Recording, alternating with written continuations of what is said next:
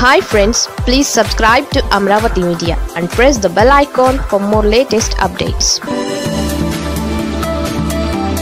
Chandrababu నిర్ణయం టీడీపీకి ఇంత నష్టం చేసిందా? చంద్రబాబు తప్పు చేశారు. అవును ఆయన రెండేళ్ళ ముందే శాసనసభకు రానని శపథం చేశారు. దీనివల్ల ప్రజల్లో చంద్రబాబుకు ఏ మేర సింపతి వచ్చిందో తెలియదు కానీ నష్టం మాత్రం తీవ్రంగానే జరిగింది. సభలో బలంగా వినిపించే అవకాశాన్ని ఆయన కోల్పోయినట్లయింది. ప్రతిపక్ష నేతగా చంద్రబాబు ఉంటే ఆయనకు ప్రతి అంశంపై మాట్లాడే అవకాశం లభించేది.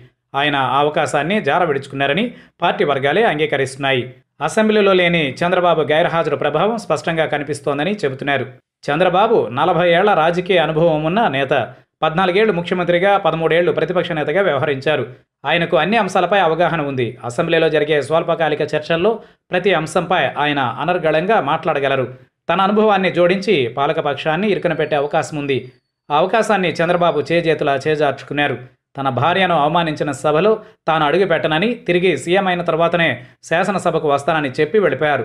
శాసనసభలో తెలుగుదేశం పార్టీ సభ్యుల సంఖ్య తక్కువగా ఉంది. మాట్లాడగలిగే సభ్యులు ఒకరిద్దరు మినహా లేరు.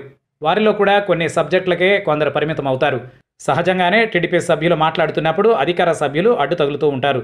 వారిని సంయమనం కోల్పోయేలా చేస్తారు. సమయం వృధా అవుతుంది. వారికిచ్చిన సమయం మించిపోతుంది. ఇది పాలకపక్షానికి అడ్వాంటేజీగా మారుతుంది. అదే చంద్రబాబు ఉంటే ఆయన ప్రసంగానికి మధ్యలో అధికార పార్టీ సభ్యులు అడ్డు తగిలినా తాను చెప్పదలుచుకుంది చెప్పేంత వరకు వదలరు. స్పీకర్ స్థానంలో ఉన్నవారు సైతం ప్రతిపక్ష నేత కావడంతో కొంత ఎక్కువ సమయమే కేటాయిస్తారు. ప్రభుత్వ వైఫల్యాలతో పాటు తాము అధికారంలో ఉన్నప్పుడు ఏం చేశామో కనీసం చెప్పుకునే పరిస్థితి ఉండేది. కానీ నాలుగు రోజుల నుంచి కొనసాగుతున్న సభలో టీడీపీ సభ్యులు నినాదాలు మినహా మరేమీ చేయలేకపోతున్నారు. ఇచ్చిన అవకాశాలను కూడా సద్వినియోగం చేసుకోలేకపోతున్నారు. ఫలితంగా స్పీకర్ పోడియం వద్ద నిలుచుని నిరసన వ్యక్తం చేయాల్సి వస్తోంది. చివరకు సస్పెండ్కు గురవుతున్నారు. కానీ చంద్రబాబు సభలో ఉండి సస్పెండ్ అయితే అప్పుడు వచ్చే పబ్లిసిటీ వేరు సింపతి వేరు. వయస్సు అనుభవం దృష్ట్యా ఆయనను సస్పెండ్ చేసేందుకు కూడా ప్రభుత్వం కొంత వెనకాడుతుంది. గతంలో జగన్ కూడా ఇదే శపథం చేసి బయటకు వెళ్ళిపోయారు. కానీ అప్పుడు ఆయన ఒక్కడే కాదు వైసీపీ సభ్యులందరూ వెళ్ళిపోయారు. సభ ఏకపక్షంగా సాగడంతో అప్పుడు అధికారంలో ఉన్న టీడీపీకి మైలేజీ దక్కలేదు. కానీ ఇప్పుడు టీడీపీ సభ్యులు సభకు హాజరవుతున్నారు.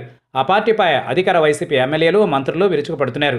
అయినా ఏమీ చేయలేని నిస్సహాయ స్థితిలో టీడీపీ సభ్యులు చివరకు సస్పెండ్ అయ్యేందుకు నిరసన మార్గాన్ని ఎంచుకున్నారు. వర్షాకాల సమావేశాలు ఇప్పటి వరకు నాలుగు రోజులు జరిగాయి. నాలుగు రోజులు టీడీపీ సభ్యులు సస్పెండ్ అయ్యారు.